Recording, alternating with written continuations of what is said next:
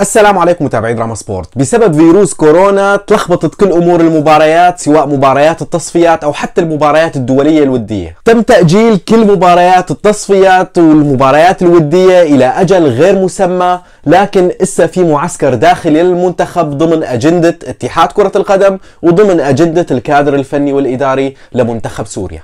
معسكر منتخبنا الداخلي بسوريا ممكن يبدأ بيوم 22 آذار يعني بهذا الشهر. ومع نهاية شهر آذار حيخلص المعسكر يعني فيك تقول حوالي 8 9 أيام منتخبنا حيكون متواجد بالشام. خلال هالمعسكر ما حتشوف أي مباراة ودية ولا مباراة من التصفيات وحتى مع نهاية المعسكر كل لاعب حيرجع لناديه وكل لاعب حيرجع لدوري من دون أي مباراة ومن دون أي آه، مشاركة مع المنتخب بالتصفيات أو حتى بمباراة دولية ودية. عندي يا شباب بهذا الفيديو فكرة جديدة ممكن تكون جديدة أكيد للبعض لكن عند البعض الآخر ممكن ما تكون جديدة وموجودة بالفعل باليابان بالصين وبعدة دول هاي الفكرة عبارة عن مباراة ودية خلال المعسكر الداخلي للمنتخب ممكن تجمع بين منتخبنا الأول وكمان آه، نجوم الدوري السوري يعني ضد نجوم الدوري السوري. هيك نوعية من المباريات عم شوفها كل سنة عم تجمع نجوم الدوري الياباني مع المنتخب الياباني. آه، هاي المباراة بتاخذ طابع كرنفالي وأحيانا عم تاخذ طابع تسويقي.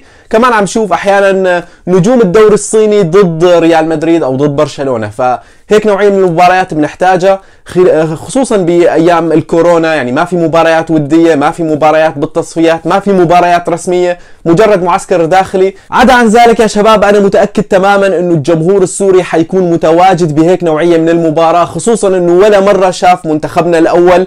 آه، أنا بحكي عن الجيل الجديد يعني الجيل الجديد ما شاف عمر السومة محمود المواس وهن يلعبوا على أرض الواقع بالملعب. وبالشام ومنتخب سوريا الأول. فكل هال هال هالإغراءات ممكن تساهم بوجود جمهور آه، كبير يعني بالملعب بمباراة تحمل طابع كرنفالي وحتى تحمل طابع تنافسي. ليش لا؟ مضمون الفكرة على الشكل التالي يا شباب. الكابتن نبيل معلول مع الكادر المساعد حيختاروا 22 لاعب للمعسكر الداخلي. بعدها حيتم تكليف الكابتن ماهر بحري متصدر الدوري السوري مع نادي تشرين والكابتن هيثم شطل.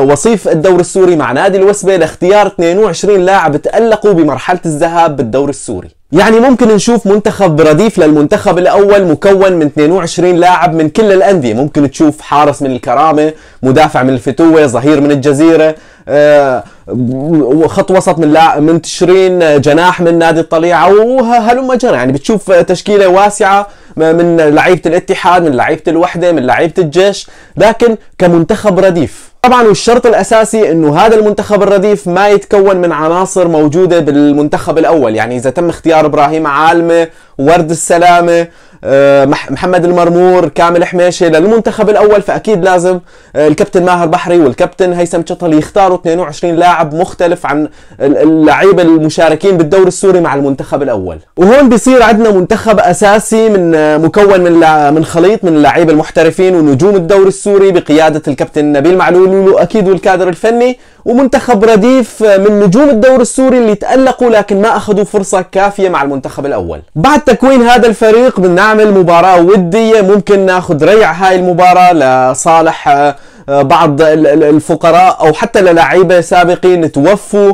آه، لعوائل هاللعيبه اللي عم بيعانوا من شد... آه، فقر شديد يعني وما أكثر من هال... هالنوعية من من الحالات الموجودة آه، مثل المرحوم محمود محملجي وغيره من العوائل اللي بتحتاج للمساعدة. بظن هيك نوعية من المباريات ريع هالمباريات بتروح لهيك عوائل.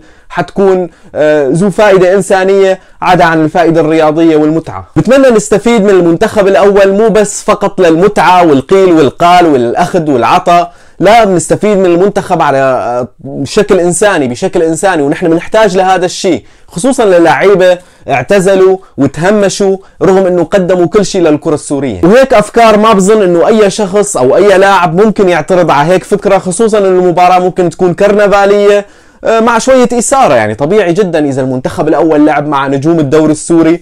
حنشوف مباراة فيها إثارة فيها تشويق وممكن تاخذ طابع تسويقي كمان. يعني بعض الشركات الراعية آه، تاخذ على هذا الموضوع خصوصا إنه الهدف ممكن يكون إنساني آه، وكمان الهدف للمتعة. يعني الجمهور السوري بيستحق إنه يشوف المنتخب الأول بيوم من الأيام إنه عم يلعب بسوريا وعارضه وعم يشوف هالنجوم. يعني عمر السومة محمد عثمان آه، محمود المواس أغلب اللعيبة المحترفين. طبعا هاي يا شباب مجرد فكرة من مجموعة أفكار فينا نطرحها خلال الأيام الجاية لكن بنتمنى يعني ياخذوا هاي الأفكار على محمل الجد. ممكن تصير لأنها صارت باليابان بالصين بعدة دول. وليش ما بتصير بسوريا؟ خصوصا هلا النشاطات كلها متوقفة بسبب فيروس كورونا؟ يعني النشاطات الرياضية بشكل عام متوقفة. يعني أنت الدوري آه، السوري تابع للاتحاد الآسيوي تابع للفيفا فأنت مجبور يعني كتضامن مع هاي الاتحادات توقف الدوري. لكن مباريات ودية أو كرنفالية فيك تعمل هيك نوعية من المباريات وتساعد فيها بعض المحتاجين كطابع إنساني وطابع كرنفالي. بنهاية هذا الفيديو يا شباب هاي الفكرة مجرد فكرة. إذا الكابتن نبيل معلول اعترض على هاي الفكرة فأكيد بلاها هو أدرى مع المنتخب الأول. لكن نحن بنحكي شغلات يعني ممكن عم تخطر ببالنا كأفكار خصوصا بعد التوقف الدولي والتوقف بسبب مرض كورونا. فعم نطرح هاي الأفكار كأفكار بديلة كأفكار ممكن تساعدنا. وكمان حابين نستمتع بالمنتخب الأول بشكل أو بآخر. وفي مباريات ودية حقيقيا عم بتصير يعني عم بنشوف نادي الوحدة عم بيلعب مباريات ودية. نادي تشرين عم بيلعب مباريات ودية. كل الأندية عم بتلعب يعني والحمد لله مرض أو فيروس كورونا غير موجود بسوريا. فإن شاء الله آه، يبقى الوضع مثل ما هو ونساعد شوي هاللعيبة القدامى ببعض الأفكار الضرورية. على كل حال إذا ما أخذوا بهاي الفكرة فبتمنى يطرحوا أفكار تانية يفاجئونا بأفكار تانية وحنكون من الشاكرين ومن المصفقين وإذا بدك من المطبلين. بتمنى يعجبكم الفيديو وتكونوا بصحة وخير وسلامة.